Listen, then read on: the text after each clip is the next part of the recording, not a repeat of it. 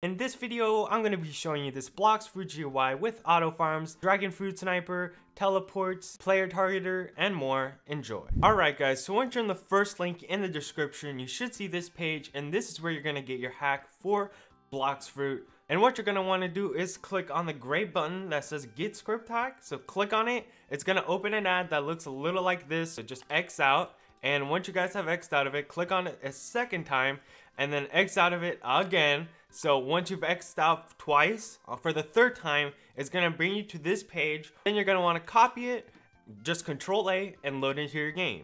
Alright guys, so once you're loading into your game, you're gonna wanna take care of your executor, as you can see right there. Today, I'm going to be using Synapse. Synapse does cost $20, but you guys can get a chance to get it for free. And all you need to do is leave a like on the video, make sure to be subscribed down below, and comment down your favorite moment from the video until we hit the subscriber goal. And once we hit that, we're going to be doing a 16 key Synapse X giveaway. But anyways, let's attach Synapse. And remember guys, if you don't have an executor right now, you can test out an executor like Gizmo in the last link in the description, which is a completely free keyless executor. But anyways, execute the script. And once you've executed it, you should see this Mhee Hub in the middle of your screen, which means it's not loading up. And uh, there you go. You have a few sections. So you got an auto farm section, as you can see, a auto stat section, as you can see, a teleports, ESPs, combats, and lastly, some game settings. Alright, so let's start off with the auto farms. So is select what weapon you're to use. I only have my fist, so that's what I'm to do. And then you can choose how distant you want the NPC to be. And if you want to do it in New World, Auto Haki, Auto Mobs, and some setting options. The default settings do work pretty well, but let's just toggle it on and give it a second and as you can see we start auto farming like this bandit person here and we do not get hit because we'll probably die fast if we do. So all it does is it kill these guys does the missions gets the money and you guys can show like the range. So this is like the hitbox as you guys can see like how far away I can hit him from this giant box. I can hit him from that far away and you can change the color of that or the size. But anyways, you also have a custom health percentage, so you guys can change that if you want. Let me actually turn off this auto farm. Oh yeah, and also while you're auto farm, you actually get God mode, so you can't die. My health is zero, and I'm still not dead. Alright though, but let's move on to the next section, which is gonna be the auto stats. So right now I have 15 points to assign, and whatever build you guys are going for, you can choose what you want to select. So let's do I want melee and and I can also like turn on defense and melee and every time I get points it's gonna give points to both of those sections. Or you know you could do like sword or gun or like whatever config you guys want you will select and it'll auto give points. You guys also have a teleport section and here what you can do is teleport pretty clearly okay? So you have a long list of a bunch of different teleports everywhere you could ever want so you can go like to the quest, banded guy, you can go like to the windmill, you can go to the middle town, the desert, the underwater city, the pirate village, the sky islands, the magma farm I think it's called, the prison, Okay, I don't want to fight there, but anyways, you guys can teleport to any of those places by just clicking on them. You do have to have like the place unlocked so you can actually stay there, but if you guys do have it unlocked, you should be able to teleport straight away and stay there. So that's pretty sick, but let's move on to the ESPs. And this is definitely helpful if you guys are gonna PvP people. If, if that's your style, then this is gonna be very useful. Alright, so you first have your ESP for fruit. So if you look around, you see there's a flame fruit over there, and that looks like there's, that's all. You can also see all flowers on the map, and it looks like there's none. So yeah, there is no, no flowers on the map that we can see right now. You can also see name ESP, so we can see everybody's name. So there's a person over there, there's like three people over there, there's somebody like in the sky? Okay.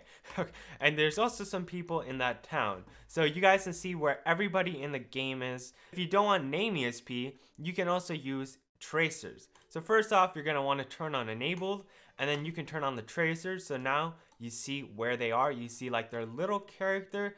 Even if I zoom in, you guys probably won't be able to see much because they're so far away, but they have a little box around them. And also, you got distance, so you can see how far away they are. So that person is 2,000 studs away, and that guy is 7,000. That's pretty far. And you can turn them on or off, turn on features on or off, and it's pretty cool. And now you can also only turn on boxes, really whatever you guys prefer. But if I was you, I would just turn on name ESP, and now you know. Let's move on to the combat section though. So right here, you guys can farm players. So you can select what person. So we can do like this Tomcat guy. And once we've selected him, we can, you know, teleport him right here. So, oh, what is he doing? Is he fighting? Okay, I, I don't know. But anyways, you can teleport to him. You can change his hitbox like the NPCs. So you guys see this red box? That's how big his hitbox is. And this guy's, oh, is he shooting at me? Uh, I don't know. I have God mode on, so it doesn't really matter. But, oh, okay, he's swimming around. He's swimming. Okay. Anyways, like I was saying, you can see them and you can change how distant you are and how big the hitbox is or small. But what you can do now is start hitting them, you know? You can equip your tool. Okay, I thought it just broke, but he literally just left the game. Let's go to Mega Ruby over here. Let's teleport. Let's turn on their hitbox and let's whack at them. okay, uh, now, obviously, I won't do much damage, and if anything, I'm just hitting NPCs because I can't really do damage to them. Uh, one, it's a safe zone, and also, like, I do no damage, you know? So I probably won't do anything to him, but if you guys have, like, better weapons, you can actually maybe do some damage and kill players. So that's pretty cool, and you can also, like, go to your friends and, like, troll them by just spawn killing them or something a few times. Just a few times, not too many times, but that's a pretty cool feature, and that guy was really confused because he just left. But is this is this him?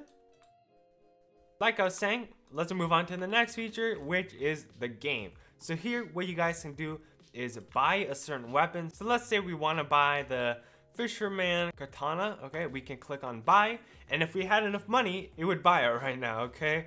So that's what that is, it just buys stuff from the shops straight from the GUI, so you don't actually have to go to the shops.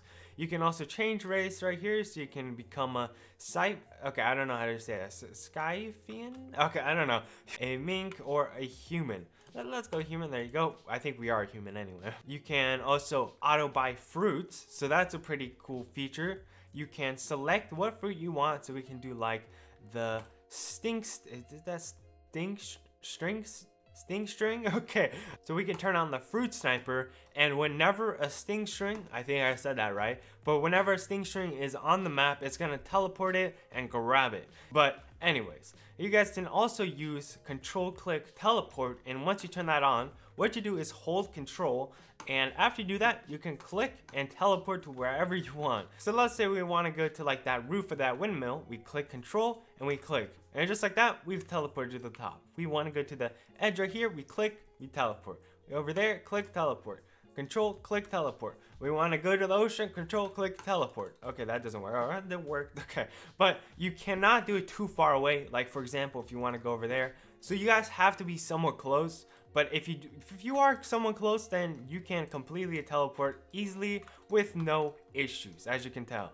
Uh, so I definitely recommend that because it's a pretty easy way to get around. You also have no dodge cooldown, so you know when you guys are dodging, it has a cooldown, but you guys can remove that. So that's a pretty cool feature. Some of the last features are you have stat refunds, race reroll. You can buy 500 fragments and 1,500. This, this is just like a kind of ease of life last section. So this will just make it easier to do some things that you can already do, but you can just do it more fast and easier from the GUI. And you also have infinite stamina, which I, I would hope that's pretty self-explanatory, but if you look on the bottom left, you can see my stamina is infinite, and that's what that is. Lastly, you have respawn, pretty self-explanatory, and lastly, rejoin server. Anyways though, hopefully you guys did enjoy, and if you did, make sure to leave a like, make sure to subscribe down below because we are trying to hit 150k, and once we hit that, we're going to be doing the 16 key Synapse X giveaway.